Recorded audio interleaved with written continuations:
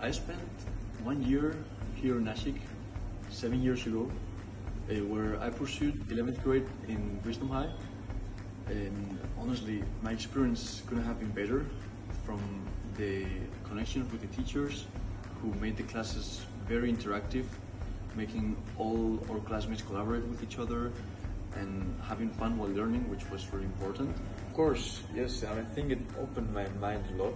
Like the fact that, well, for me, India is a completely different world for what I'm used to. It opened my mind in many different ways, from languages, from a different culture, from uh, just many, many things that I could have learned. And I, I think I could not have learned in 10 years back home. Here, in one year, I could really just become, uh, like, grow so much in one year. Created really good friendships with all my classmates, uh, who I still keep uh, till the time with some of them.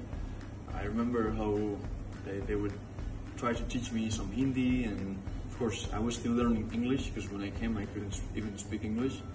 Two, three months, I picked up the language.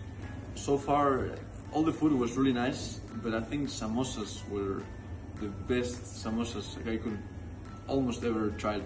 We played the football Okay. mostly, yeah, mm-hmm. and yeah, well, I could say that the installations back then were really nice, but I just came back after seven years, and well, they have increased their quality like thousand percent, and yeah, it's better than any other school I could have seen before.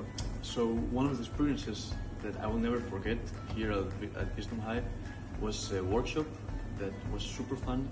We had to make the best bridge out of popsicle sticks, gluing them together, and uh, well, we made it in different groups.